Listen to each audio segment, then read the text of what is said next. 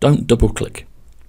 Now many new users double click where they don't need to, a single click will save you time and energy. For example in the program to choose the vendors list page, a single click is fine to load that page. Same with the sales orders list page, and finally customers list page. Where you might want to double click is to load actual record, but be careful, you best double click on the left hand side of the record name.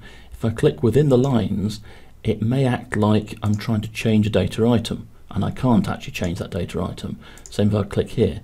So a slow double click could backfire, whereas if I double click here, it loads the card page for me. But just be careful, it's loaded it in edit mode.